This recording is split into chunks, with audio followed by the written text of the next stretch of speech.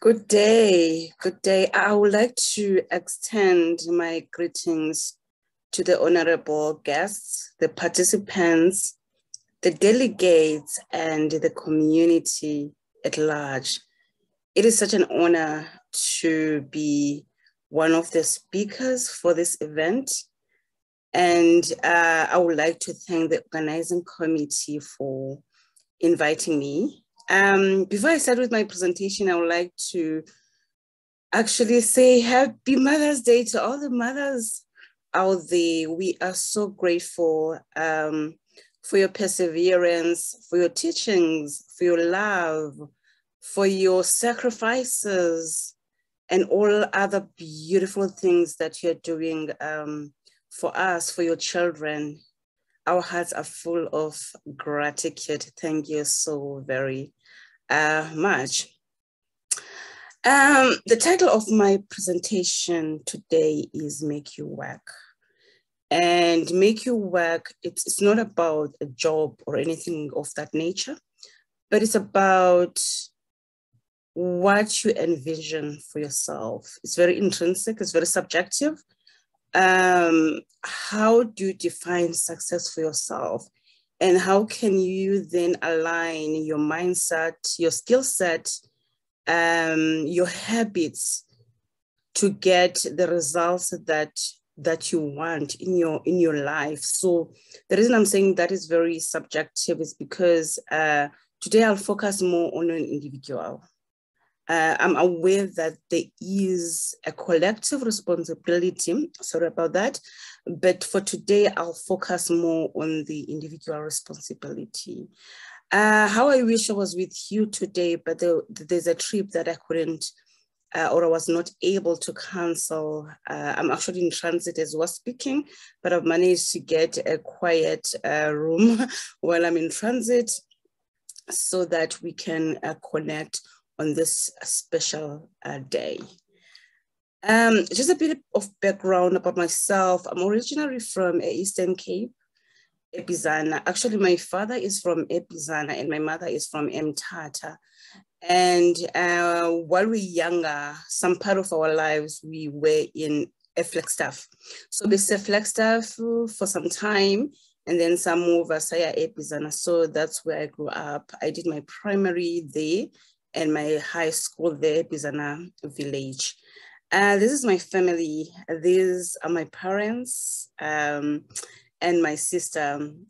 My brother is not here. He's actually the firstborn, followed my, my sister, and then I'm the, the, the last born.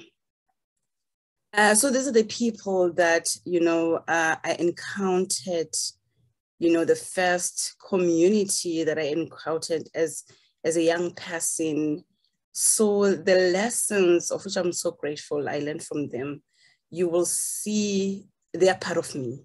Um, the lessons I'm, i learned from this community called family, and then the lessons that I learned from the community at Bizana, from a flex Flagstaff. Then uh, after high school, I then went to UCT, the University of Cape Town. I was there for my undergrad, and, and getting to UCT for me was more of a, a, a sweet bitter pill uh, because you know when you're from um, rural areas there are certain things you don't have. For example i'm in science and uh, i was doing physical science and biology but you know we, we never had a, a lab so everything was so theoretically.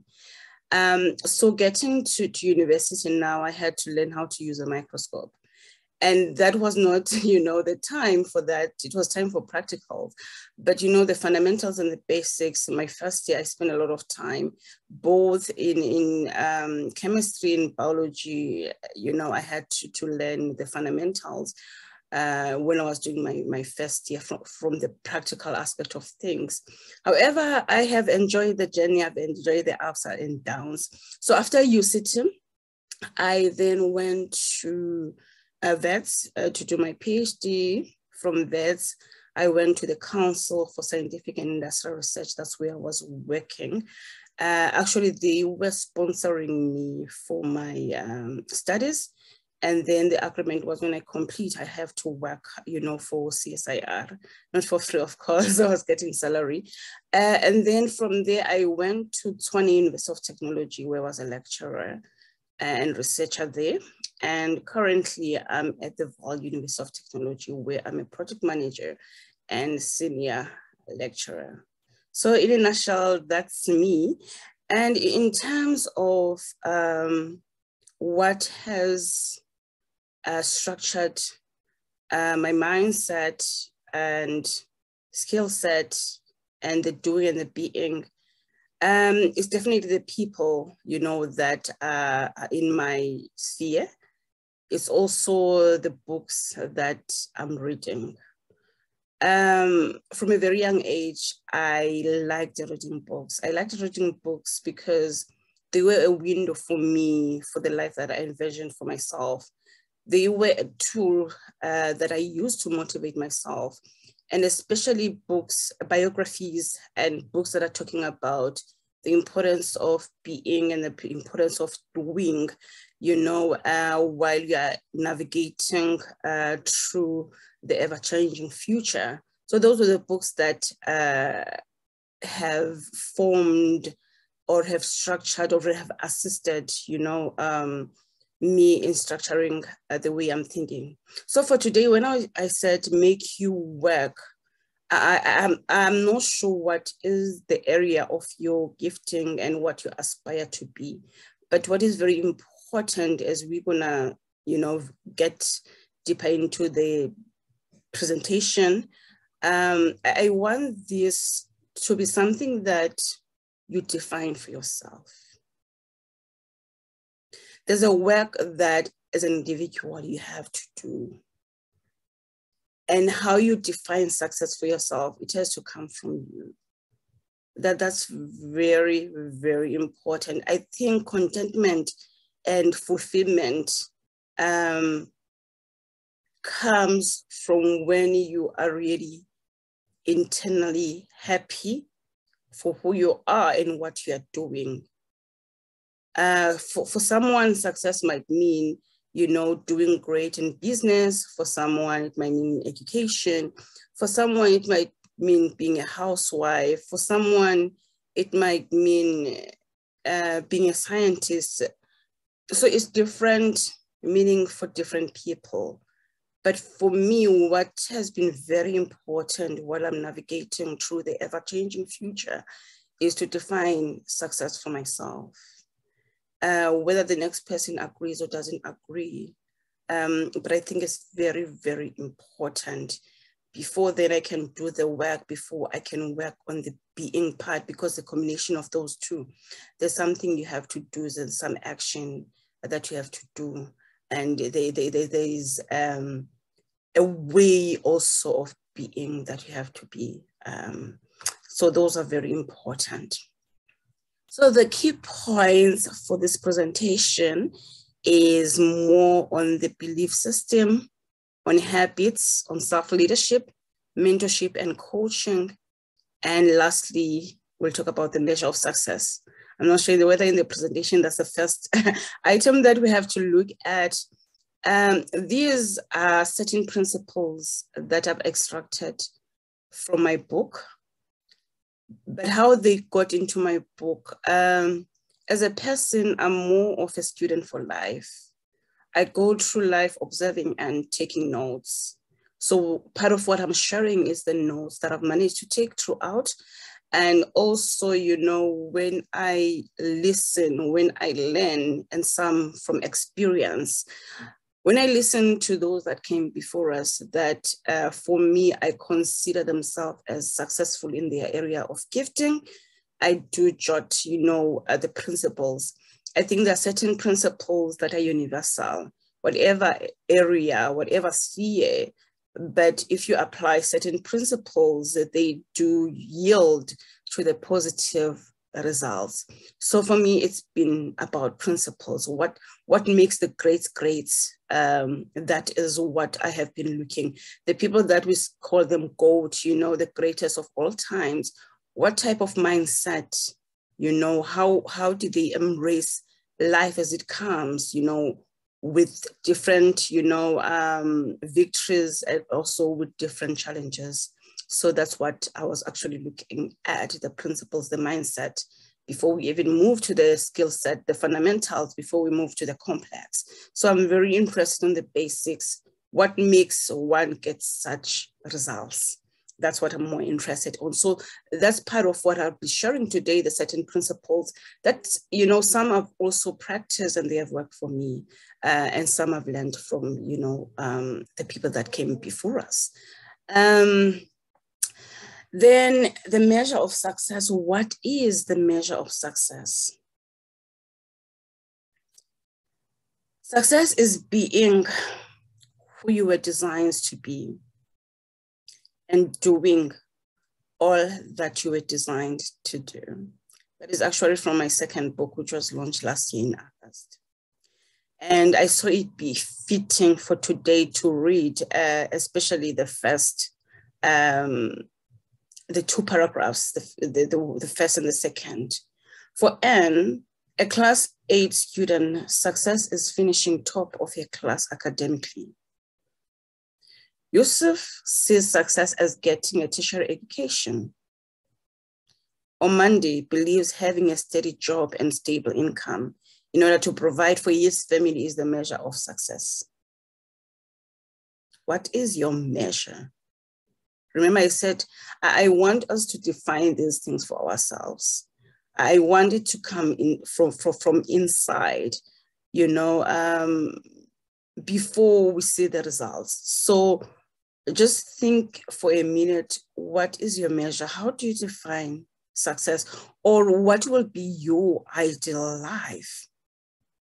Because one thing that is clear is that what we see from the above is that success means different things to each of us. For me, success is being who you were born to be and doing that which you were born to do. If you're in this group, With hard work and dedication, you will almost certainly live up to your full potential. This is about operating in the area of your God signaled gifting. To me, success is intertwined with your God design. Having a design signifies that there is a purpose. Dr. Myles Munroe put it this way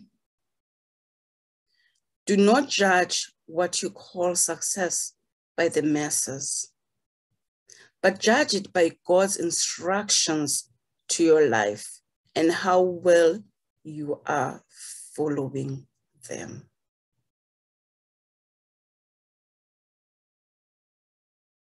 That is success. I think uh, this starting point for this presentation is crucial. Um, it's crucial because it's, to, it's so that we understand the role at the individual level that we ought to play. Let's move forward to the belief system. The way we operate is the results of our belief system what you believe to be true about yourself, you'll see it manifesting in your actions. And one thing we cannot change, we cannot change at some point, you cannot change how you were brought up.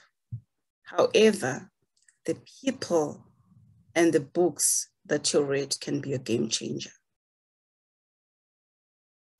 How do we shift our paradigm of thinking? Mostly it's the impact on who surrounds you, not just who surrounds you, but who you listen to. How do you sieve the noise? And also the books that you read. How do you select the books that you read? And how do you do you make sure that you practice what you have learned? Those are the game changer because sometimes we don't become our potential, not because we're not gifted, but even if you're a lion, by association, you can behave as a sheep. So um, it is very important that we sharpen our belief system we sharpen how or what we believe to be true about ourselves. We, and we then become our potential. But That requires some work from your side, the individual responsibility. Then item number three is about habits. This is also extract from my book. It is actually what page 136 and the nugget um, 89. One thing that I've observed is that successful people swear by habits. Uh, what they do on daily basis and the consistency. It's more of incremental changes that make their significant impact. Uh, so um, in your area of gifting, what habits do you want to adopt? And it's not something that you have to jump, you know, it's more like a, a needle point type of steps. But when you combine all those steps through, you know, the time that you've been taking them, after a while, you see that they are making such a significant impact. So it's the basics, it's the fundamentals, it's your daily routine. What is your daily routine? Where are you going? Are the habits that you're having aligned with the destiny that you're trying to get to? So at this point, I had to share what Stephen Covey actually, you know, wrote in, in, in his book um, the habits of successful people, seven habits. One of them, he talked about being proactive. Begin with the end in mind. Put first things first. Think win win. Seek first to understand, then to be understood. Synergy sharpen the soul. Then in these, I have summarized them. The first one being proactive, know where you are going and plan ahead to avoid surprises, to avoid being reactive, and take responsibility for yourself. Do not blame others. Yes, it might be a fact that so and so disappointed you, it might be affect so and so, you know, gossiped about you, backbite, and all those things. But at the end of the day, that should not hinder your progress. You are responsible for your own progress. So it's very important to be proactive in your own journey and don't shift don't blame others. You are responsible for your own journey. Number two, begin with the end in mind. This highlights the importance of imagination and the determination to follow through till the envisioned end. That's very important. Um, the, the importance of imagination, the importance of solitude, and just you know think and see you know why, where you are driving towards. That's very important. Number three put first things first. Know your priorities and don't be swayed away from them. Don't be prioritized your schedule but schedule your priorities. Number four think win-win. This embraces the belief system belief again that there is plenty for all of us you don't have to lose for me to win. And I do not have to lose for you to win. This belief system leads to synergistic uh, partnerships where both you and I uh, win bigger. This is very important that um, we support each other. While you are building your wall, uh, to have, you know, a group of people that have a similar vision, not necessarily doing what you're doing. Um, and supporting and, and knowing that when you win, I also win. When I win, you also win. That is a very great belief system while we're navigating the ever-changing future. Number five, seek first to understand, then to be understood. So here, Stephen Covey was talking about, or is talking about, Um, uh, so, so, in summary, I, I said, uh, I'm sure you've heard of people that have said, if I were you, I would do this, this, this, this, before really understanding the situation or having asked for permission to share your thoughts. A listening ear is worth more than a million unsolicited piece of advice. You know, sometimes we're so uh, fast to offer advice and we don't even understand or we, when actually never going to be able to understand, you know, a certain situation. But sometimes just listen to the person if they are talking to you. Because sometimes you want to listen, but someone is not talking to you. So you just let that go. But seek first to understand before you are understood, before you respond. Understand what someone is telling you. Uh, synergy, that's very important. Alignment, you know, uh, on daily basis, which goes hand in hand with, with habits. Sharpen the sword, take care of yourself, eat well, exercise, work on your emotional intelligence and leave room for, for love, for laughter, to play, solitude, stillness, and nature.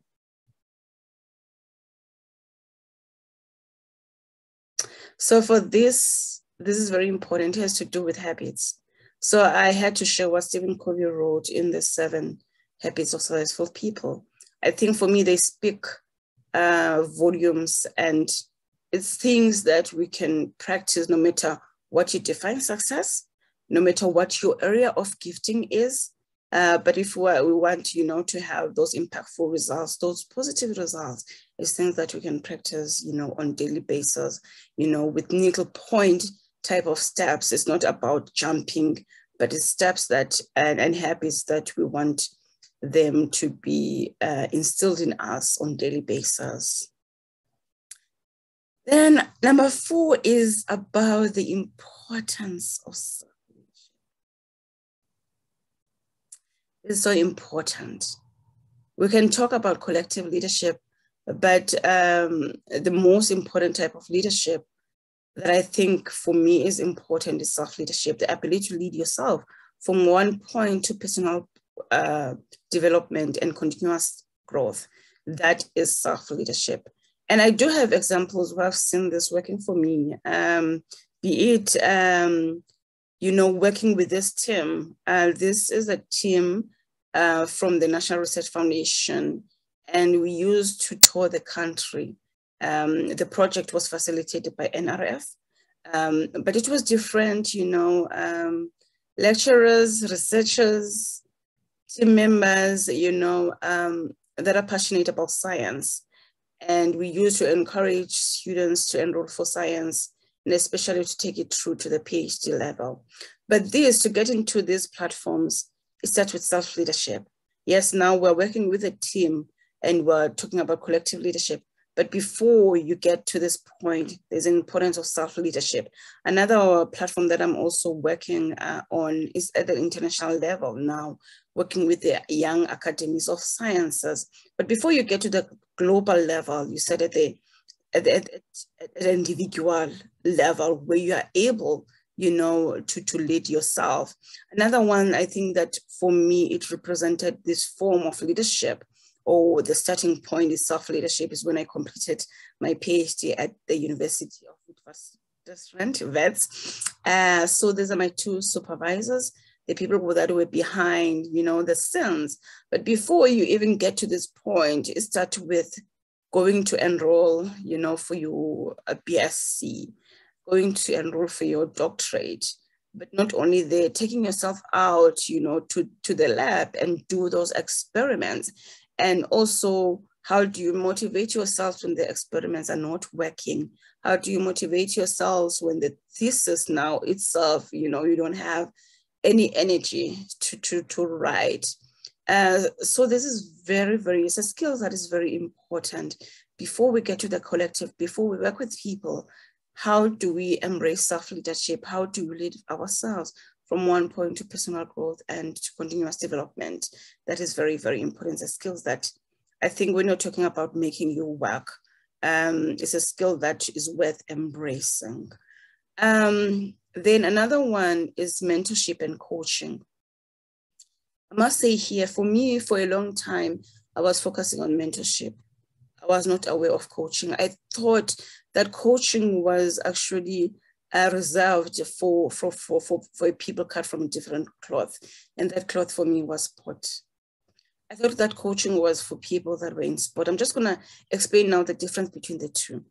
Okay, it was when I got to the Council for Scientific and Industrial Research that I was introduced to coaching in, in science and education. Um, when, when, when someone is mentored, I've written uh, about this, it's actually on page 147 of my book. When someone is mentoring you, it's more about transferring a skill. It's more about someone who knows more in where you're going. Um, it, it, can be when you're at master's level, you want to go to PhD level. Someone already has a PhD. When you are undergrad, you want to go to master's. Someone already has a master's um, I'm making these examples because for me, I'm more in the education and training sector uh, and trained as a scientist uh, in chemistry. So hence I'm making such examples. So for you, you definitely it might be something different. Uh, so for, for a business person, someone definitely was made uh, his mark or her mark in such an arena. Um, that that is more of mentorship, someone who knows more in where you're trying to get in and pouring that skill into you. Now, coaching, coaching is more about someone who asks you to tap into your greatness. Um, a coach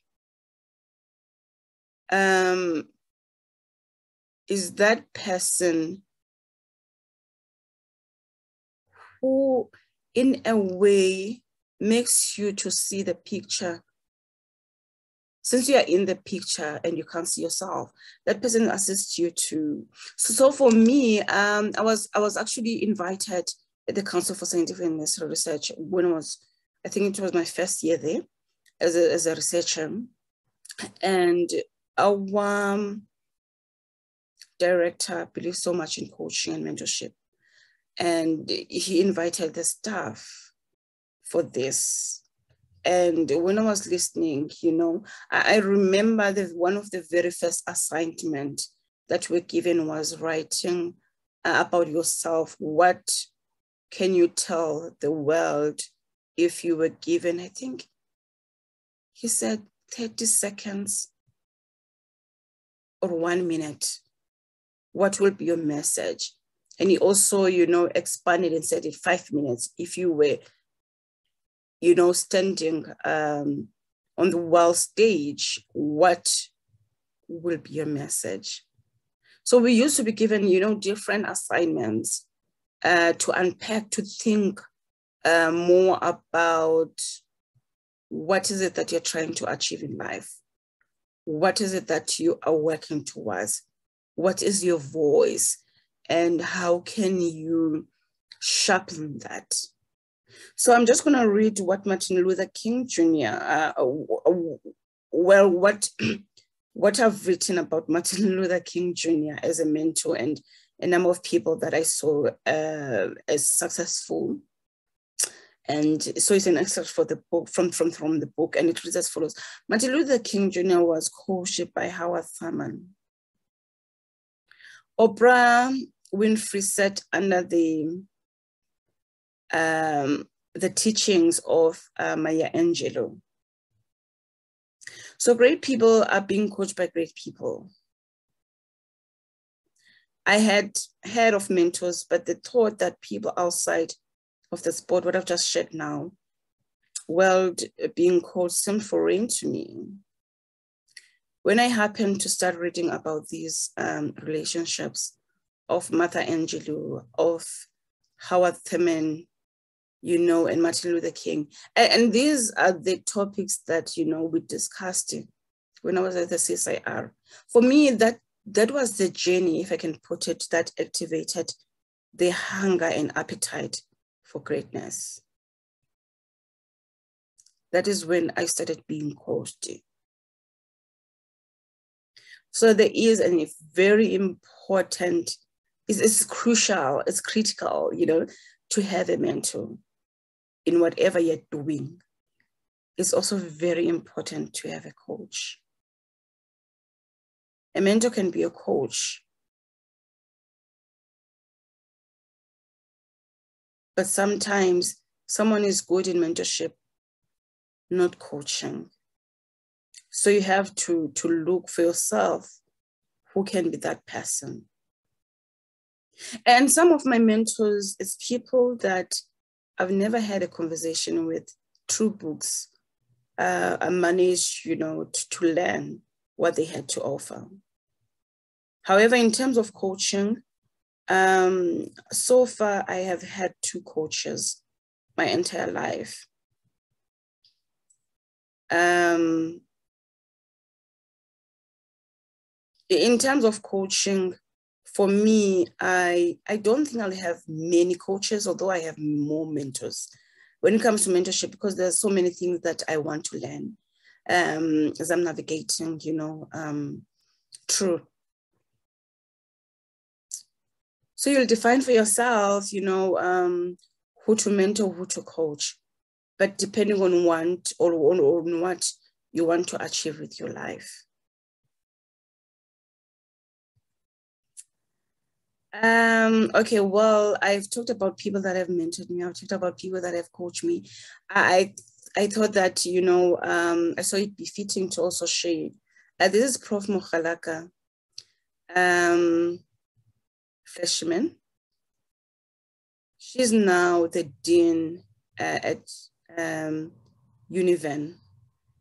Uh, when we met, we met at Tshwane University of Technology, and she has been my mentor. She's still my mentor. Uh, she was the HOD then in chemistry. And here we're posing actually for a magazine or a booklet, if I can put it that way, that uh, was launched by TUT. Uh, this was 2016. Um, I think it was July, June, somewhere there, and or August. Um, so we were posing because we're featured in the book. It's called Inspire. So I've learned a lot from this lady. I'm still learning actually uh, from Prof. Debucheng.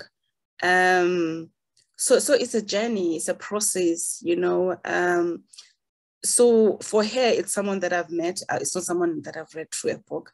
It's someone that I've walked the journey with. It's someone that I'm still work, working actually the journey uh, with. Another two ladies that have mentored me is um, Dr. Andrew. Uh, Dr. Andrew, I met her in uh, Silicon Valley when I was I was there for professional mentorship actually in, in Santa Clara. This is in California, America. So I was there for a month and I met Dr. Dia and Dr. Andrew. That was um, a professional mentorship. They were aware that they were mentoring me.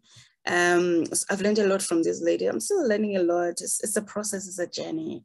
And one of my coaches is Dr. Joe Molete. This was the director at uh, Council for Scientific and Industrial Research.